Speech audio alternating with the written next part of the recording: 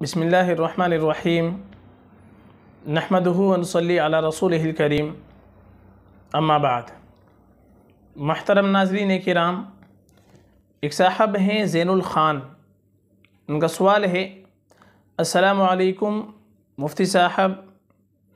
वारिस और तालिब और आसिम नाम रखना कैसा है? मायने बताए हज़रत। वालेकुम अस्सलाम वरहमतुल्लाहि वबरकातुहू चुनाचे इनमें पहला नाम है वारिस वारिस के असल तो माना आते हैं पाने वाला।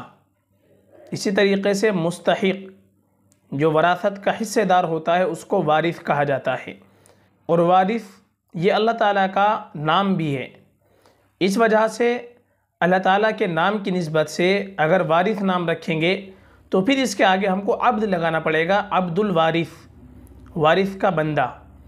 और अगर इसको उस माना के अतबार से देखें, जो इसके लघवी माना आते हैं, पाने वाला, हिस्सा हासिल करने वाला, हिस्सा लेने वाला, वरासत का मुस्तक इस एतबार से वारिस नाम रखा जा सकता है।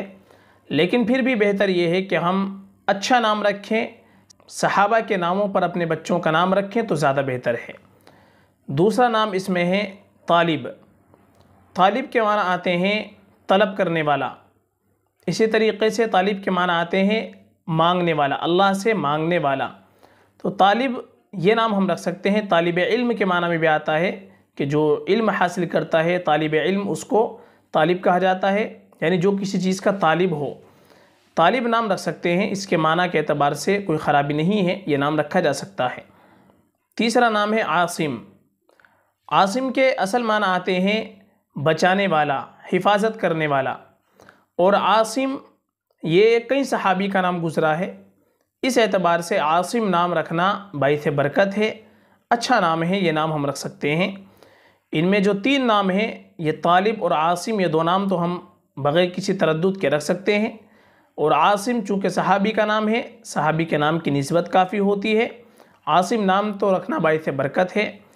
और वारिस नाम से बेहतर ये है कि हम कोई सहाबी का नाम तलाश कर लें। या अम्बिया कराम वसलाम के नाम या सहाबा के नामों पर अपने बच्चे का नाम रख लें तो ज़्यादा बेहतर है। फ़कत वल्लम